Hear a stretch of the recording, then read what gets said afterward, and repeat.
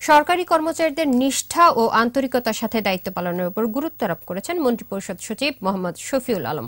সকালে জেলা প্রশাসকের সম্মেলন কক্ষে অনুষ্ঠিত কক্সবাজারে উন্নয়ন প্রকল্পসমূহের ভূমি অধিগ্রহণ কার্যক্রম কক্সবাজার উন্নয়ন কর্তৃপক্ষ ও সংশ্লিষ্ট বিষয়ক আলোচনা সভায় তিনি কথা বলেন।